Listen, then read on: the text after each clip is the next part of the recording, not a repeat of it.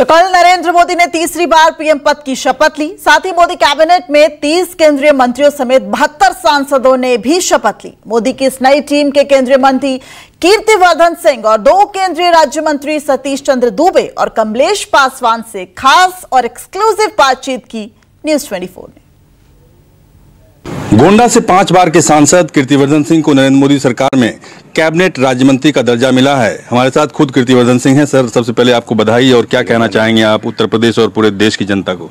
देखिए, सबसे पहले मैं आदरणीय प्रधानमंत्री जी को और अपने भारतीय जनता पार्टी के शेष नेतृत्व नेतृत्व को मैं धन्यवाद देना चाहता हूँ कि आपने इस निर्णय के साथ साथ हमारे पूरे गोंडा वासियों का सम्मान बढ़ाया है। और उसके साथ साथ एक बहुत बड़ी ज़िम्मेदारी सौंपी गई है, जिसको मैं पूरा निष्ठा के साथ, पूरा समर्पण के साथ, पूरी मेहनत के साथ, जो हमारे भारतीय जनता पार्टी का, आदरणीय मोदी जी का जो विजन है, जो लक्ष्य है, जो उद्देश्य है, उस पर पूरी मेहनत के साथ हम लोग उस पर लगेंगे।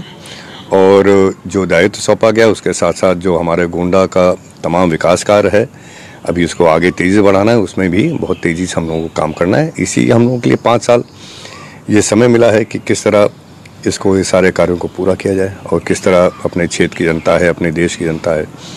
इसके सामने इसको आगे बढ़ाने के लिए जो राष्ट्र को आगे बढ़ाने के लिए जो माननीय मोदी जी कदम रख रहे हैं उसमें हम लोग साथ उनके लगे।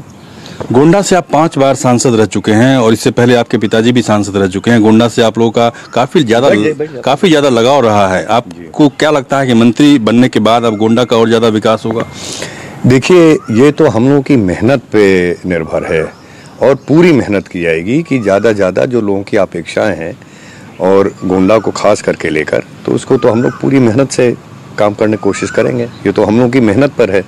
देखिए, बिना कोई मंत्री पद होते हुए भी ये हमारे पार्टी की देन है, हमारे पार्टी की सोच, हमारे माननीय मुख्यमंत्री जी की, माननीय प्रधानमंत्री की जो सोच रही है, उसके चलते हुए हम लोग गोंडा में बहुत सारा काम करा ले गए। बहुत सारा काम किया जो कभी गोंडा में हुआ नहीं था। तीन तीन ओवरेज मेडिकल कॉलेज कोविड का अस्पताल ये सारी चीज़ें हुई। तो हम लोग अगर मेहनत करेंगे तो निश्चय है कि पार्टी भारतीय जनता पार्टी तो हर हर यथासंभव कोशिश रहती है कि क्षेत्र का विकास हो। उसके बाद हम लोग भी मेहनत करेंगे तो ज़रूर है कुछ ना कुछ तो आगे हम लोग को अच्छी सफलता विकास में मिलेगी ही मिलनी है। चुनाव के दौरान ये नैरेटिव सेट करने की कोशिश की गई कि क्षत्रिय समाज नरेंद्र मोदी की सरकार से नाराज़ है। इसे आप कैसे दूर करेंगे? देखिए वो नैरेटिव तो खत्म हो चुका है ना।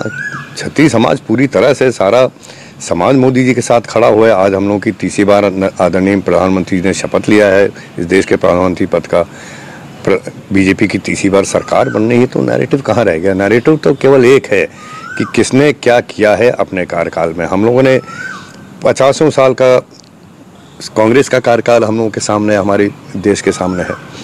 और उसके साथ साथ दस साल का कार्यकाल आदरणीय नरेंद्र मोदी जी का और बीजेपी का देश के सामने है। उसका तुलना करने में कोई बहुत मुश्किल बात नहीं है। तुलना में जो इतने सालों में काम नहीं हो दस साल में आदरणीय प्रधानमंत्री जी ने देश के लिए करके दिखा दिया। तो नरेटिव तो अब विकास का है। नरेटिव देश को आगे ले जाने का है। नरेटिव हमारे भारत देश को पूरे दुनिया में जिस तरह से हम लोगों की जीडीपी की ग्रोथ है, जिस तरह से हमारी इकोनॉमी ग्रो हो रही है तो पहले स्थान कहाँ के साथ स्थान पे थे, हम लोग कितना आगे बढ़ा के ले आदरणीय नरेंद्र मोदी जी? और प्रथम स्थान प्राप्त करने का नरेटिव है।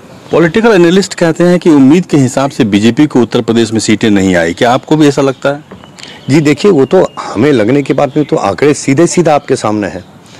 और ज़रूर कुछ ना कुछ अगर कमियाँ रही हैं तो इतना मुझे को पूरा विश्वास है अपने शीर्ष नेतृत्व में कि इस कमियों को देखते हुए इसका मंथन करते हुए भारतीय जनता पार्टी और मज़बूत आगे साबित होगी।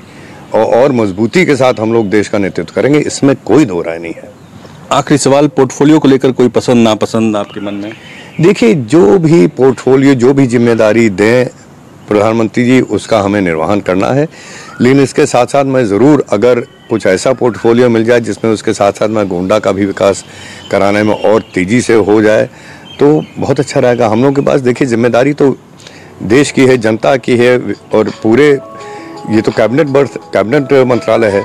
लेकिन इसके साथ साथ जिन लोगों का आशीर्वाद पीढ़ी दर पीढ़ी हम लोगों को मिलता चला आया। हमारे गोंडा के जो परिवार है, उनके लिए अगर कुछ खास मदद हो सकेगी तो बहुत ही अच्छा रहेगा।